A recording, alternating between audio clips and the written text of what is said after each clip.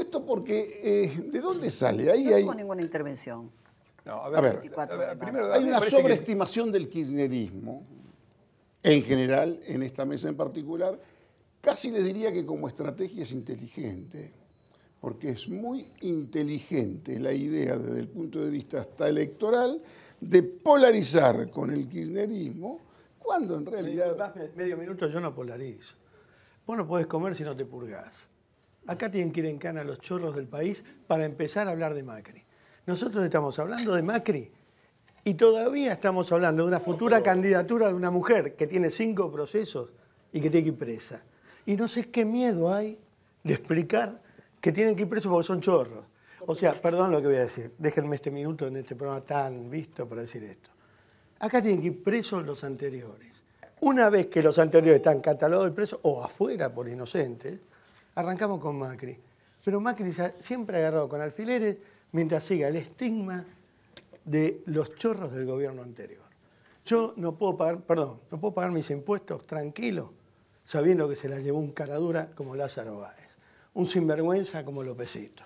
Yo no puedo con este, esta historia felinesca de la Argentina, donde había un convento que no era convento, donde se tiraban 9 millones que no eran 9 millones, donde había una monja que el único problema que tenía que le comieron los escones, otra pateando un fusil de guerra. Con esta historia. Qué con- grotesco. claro, con, este cimiento, con los peronistas que no, con este cimiento de porquería, de esta gente de porquería, Pero de me- cuyos muchos agregar porquería una estaban ayer arriba del palco, yo no puedo edificar Babi, un país. déjame agregar una cosa. Yo además quiero estar manifiestamente en ¿todo esto contra. lo decís en la radio, Radio 10? Escuché el monólogo de ayer, dije exactamente Sí. lo mismo y lo digo en mi vida.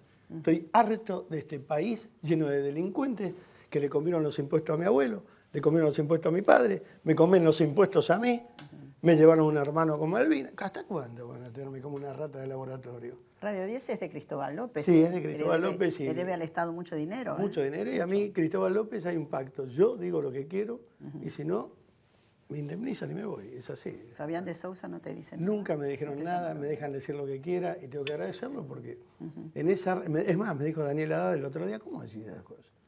Es que yo la boca la tengo para hablar y nosotros que hacemos periodismo, o por lo menos yo respeto a los periodistas, yo no estudié periodismo, yo soy actor, pero por lo menos tenemos que decir lo más parecido a la verdad como es, a la verdad que sentimos.